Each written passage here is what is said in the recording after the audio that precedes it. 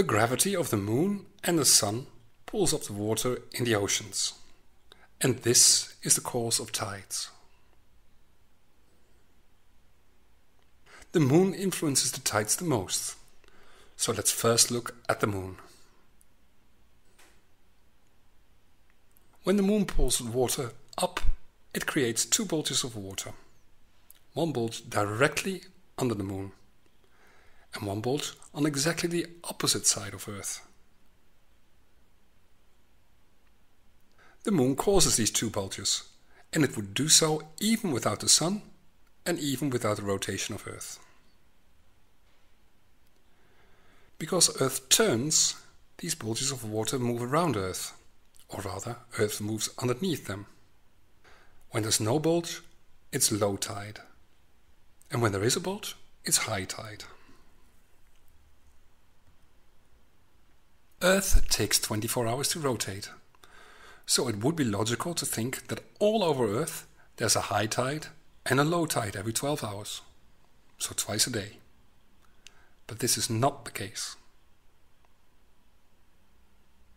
The shape of the sea bottom also influences this pattern.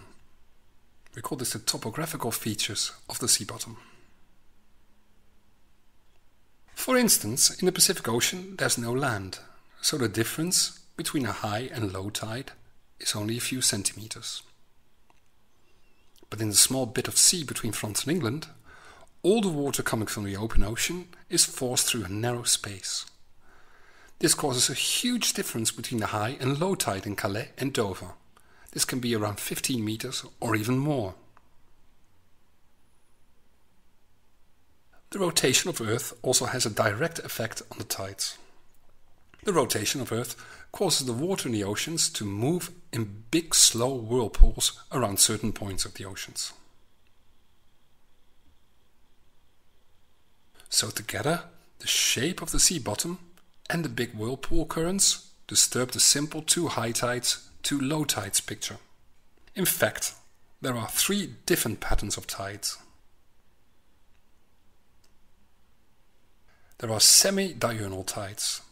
Semi-diurnal means half day, so twice daily. This is a pattern of two tides a day, two high tides and two low tides, and they're both equal in height. There are diurnal daily tides.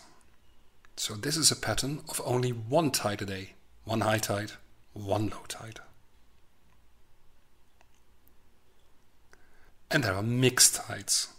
This is a pattern of two tides a day, two high tides and two low tides, but the tides are of unequal heights. Now let's look at the Sun. The gravitational pull of the Sun also creates two bulges in the water on either side of Earth. But because the Sun is much, much further away than the Moon, the bulges it creates are much smaller. At certain times in the month, the bulges created by the moon and by the sun line up with each other.